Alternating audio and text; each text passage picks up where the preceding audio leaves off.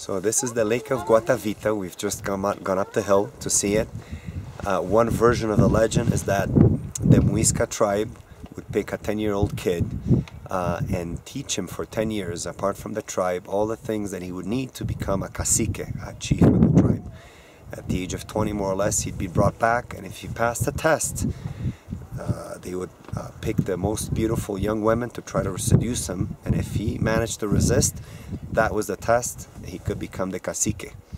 And to celebrate that moment of the passing of one cacique to another, they would uh, bathe this young man in uh, oil and then uh, bathe him in gold and bring him over here to swim in this lake of Guatavita. And um, along with this ceremony they would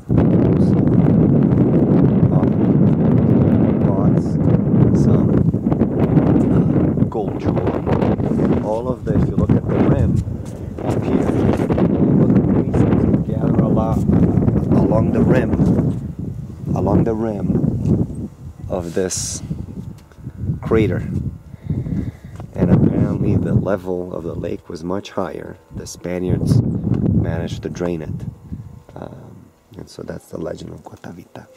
Excellent. Thank you so much for your presentation. You are the best. Ciao, ciao.